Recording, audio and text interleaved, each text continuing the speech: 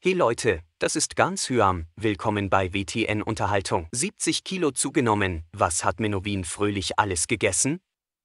Menowin Fröhlich, 34, gibt Einblick in seine jüngste Ernährungsroutine. Vor wenigen Tagen meldete sich der einstige DSDS-Teilnehmer mit einem besorgniserregenden Update. Er hat stark zugenommen, bei einer Körpergröße von 1,73 Metern bringt er mittlerweile 160 Kilo auf die Waage, das sind 70 Kilo mehr als vor einem Jahr. Nach einem Bänderriss hatte er sich nicht mehr bewegen können und daraufhin nur noch gegessen. Jetzt verriet Menowin, was er alles zu sich genommen hat, dass er so übergewichtig wurde. Im Interview mit Bild TV erzählte der sechsfache Vater, dass er wegen seiner Diabeteserkrankung ohnehin schneller zunehme. Zudem ließ sein Speiseplan zu wünschen übrig, zum Frühstück waren vier bis fünf Brötchen nichts.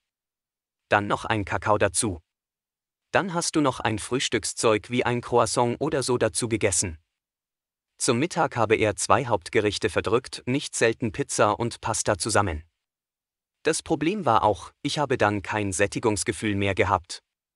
Alle halbe Stunde musste ich irgendwie was essen, verdeutlichte der 34-Jährige.